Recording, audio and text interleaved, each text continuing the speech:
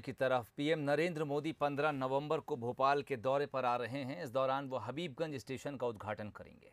Helicopter से बरकतुल्ला में उतरने के बाद पीएम मोदी सड़क मार्ग से हबीबगंज स्टेशन पहुँचेंगे। लगभग ढाई किलोमीटर के इस सफ़र के लिए क्या कुछ तैयारियाँ की गई हैं? इसका जायजा लिया हमारे संवाददाता आकर्ष शर्मा ने। देश के प्रधानमंत्री नरेंद्र मोदी 15 नवंबर को राजधानी भोपाल के दौरे पर आ रहे हैं। यहाँ वो विभिन्न कार्यक्रमों में शामिल होंगे और सबसे महत्वपूर्ण कार्यक्रम है world class railway station Habibganj का उद्घाटन।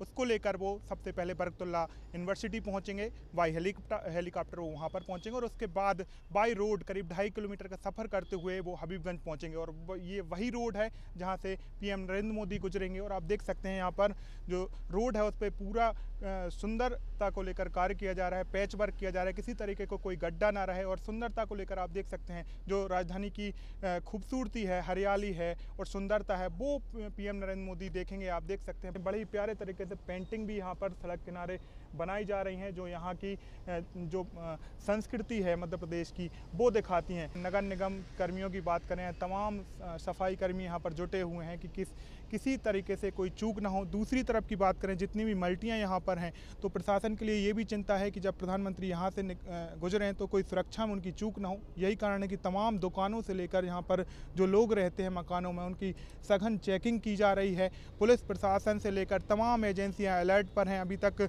कोई भी पीएम का जो रोड मैप है, वो नहीं आया है कि वो कहाँ से गुजरेंगे, लेकिन उम्मीद ये जताई जा रही है कि जो बी आर टी कॉरिडोर है, उसके, उससे जो है प्रधानमंत्री का काफिला गुजरेगा। तमाम प्रशासन जुटा हुआ है कि पीएम नरेंद्र मोदी का जो दौरा है, वो सफल रहे। यही कारण है कि जब प्रधानमंत्री यहाँ पर पहुँचेंगे तो देश का दिल कहे जाने वाले मध्य प्रदेश की सुंदरता देखें और जब वो वर्ल्ड क्लास स्टेशन का उद्घाटन करें तो कहीं ना कहीं उन्हें जो सड़कें हैं मध्य प्रदेश की, वो भी वर्ल्ड क्लास नज़र आएँ। कैमरा पर्सन भरत मुंदिला के साथ आकर्ष शर्मा, बंसल न्यूज़